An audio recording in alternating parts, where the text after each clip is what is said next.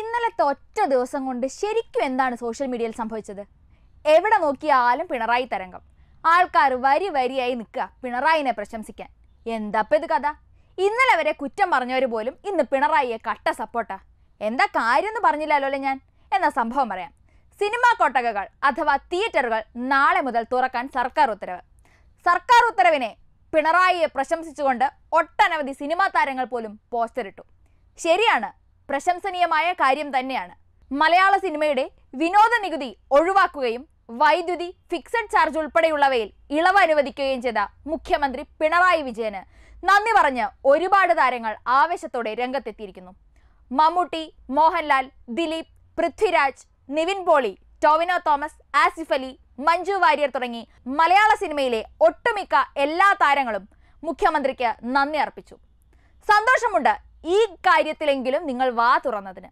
മറ്റൊന്നും കൊണ്ടല്ല സിനിമാ മേഖലയിൽ ഇതിനോടകം തന്നെ എത്ര എത്ര പ്രശ്നങ്ങളാണ് നടന്നത്.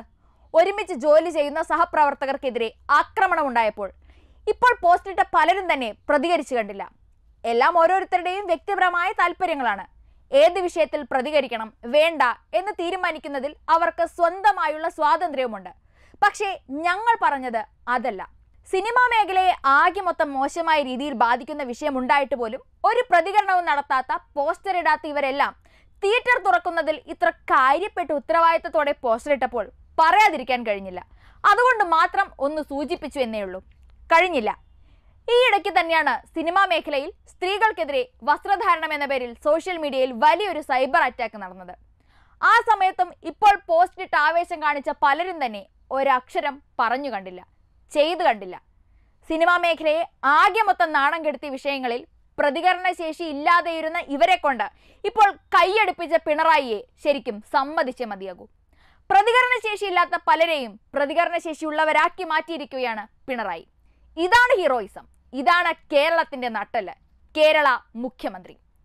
വിദ്യാഭ്യാസമാവട്ടെ വിനോദമാവട്ടെ ആരോഗ്യമാവട്ടെ സകലമാന മേഖലയിലും ആരെ കൊണ്ടും ആർക്കും ദോഷം പറയാൻ കഴിയാത്ത പ്രശംസനീയമായ രീതിയിൽ തല ഉയർത്തി നിൽക്കുകയാണ്. സിനിമാ താരങ്ങൾ എന്നല്ല ആർക്കും തന്നെ പിണറായിയെ ഒരിക്കലും മോശമായി ചിത്രീകരിക്കാനും കഴിയില്ല.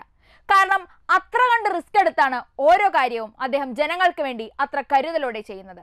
അഭിനന്ദിച്ചേ മതിയാകൂ ആ ധൈര്യത്തിനെ കരുതലിനെ. ഒരു കാര്യം മാത്രം അവസാനമായി പറയുന്നു. കേരളം ഭരിക്കുന്നത് വഴുക്കലിൽ വടികുത്തിയ ഉമ്മൻചാണ്ടിയല്ല ഇരട്ടച്ചങ്കൻ പിണറായിയാണെന്ന് ഒരിക്കൽ കൂടി തെളിയിച്ചിരിക്കുകയാണ്.